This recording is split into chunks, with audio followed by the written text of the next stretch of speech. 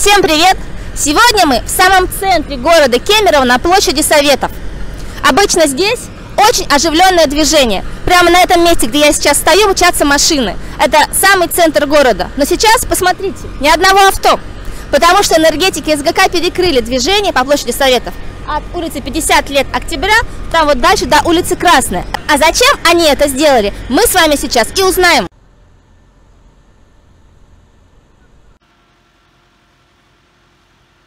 Евгений Иванович, что здесь вообще происходит? В результате гидравлических испытаний поимели повреждения под автомобильной дорогой.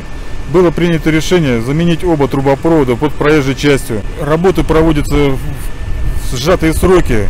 То есть начали в пятницу вечером, в понедельник утром автомобильная дорога должна быть открыта для движения. И ночью работаем круглосуточно практически.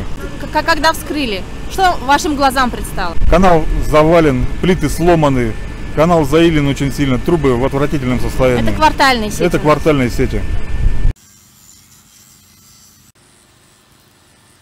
На дворе август.